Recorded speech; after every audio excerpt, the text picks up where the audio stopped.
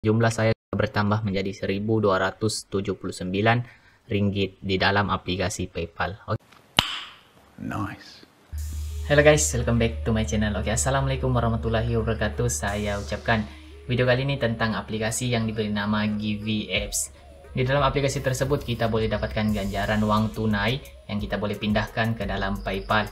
Jadi saya akan bahas tentang bukti pembayaran saya yang kedua di dalam aplikasi tersebut. Masih ramai yang tak percaya adakah aplikasi tersebut betul-betul membayar bang selamatkah bermain di aplikasi itu. Jadi kamu lihat video ini sampai habis adakah duit tersebut masuk ataupun tidak. Sebelum kita lanjut, pastikan kamu subscribe, like, share video ini, tekan butang lonceng sekali agar kamu tidak ketinggalan dengan video-video yang saya akan upload nanti dan cek video ini.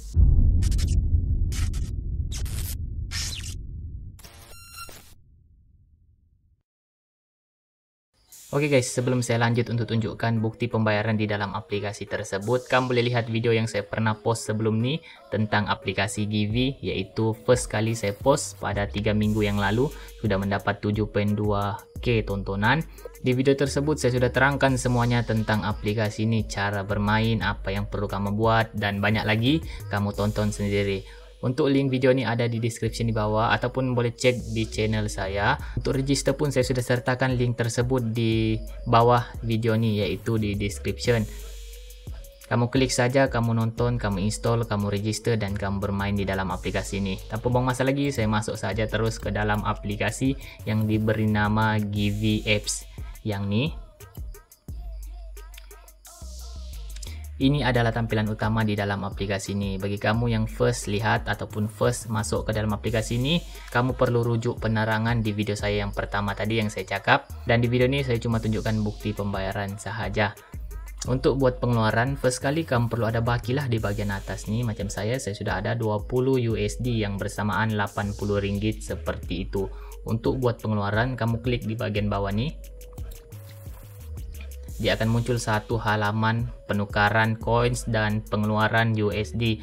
Coins ni kita boleh tukarkan ke USD dengan kita convertkan seberapa banyak coins yang kita ada di bagian atas ni. Macam saya, saya ada 39.000 lebih coins, jadi saya tukarkan saja coins tu semuanya. Dan kita klik saja tanda tambah ni ataupun plus ni sehingga coins kamu habis. Jadi kita akan tahulah berapa nilai coins tu bersamaan USD tersebut. Di sini saya sudah masukkan sebanyak 39.000 koin saya yang bersamaan 3.0 USD.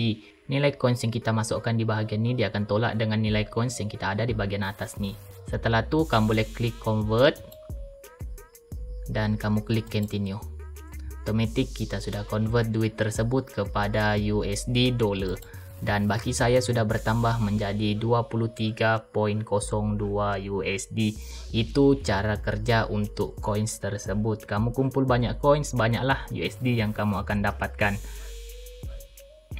Setelah itu bolehlah withdraw duit tersebut ke dalam paypal kamu di bahagian nih klik withdraw. Dia akan muncul tiga pilihan. Ada Coinbase, PayPal dan Binance.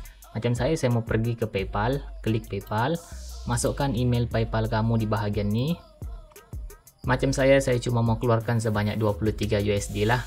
Macam tu saya genapkan sahaja nilai tersebut. Lepas tu saya withdraw sahaja ke dalam akun PayPal saya. Dan kita klik yes. Otomatik mereka akan proses pembayaran tersebut. Dan dia akan terpampang di bagian ini lebih jelas lah berapa pengeluaran kamu bila kamu buat pengeluaran dan ini email PayPal kamu. Jadi saya akan sambung video ini sekejap lagi, jangan ke mana-mana, stay tune oke? Okay?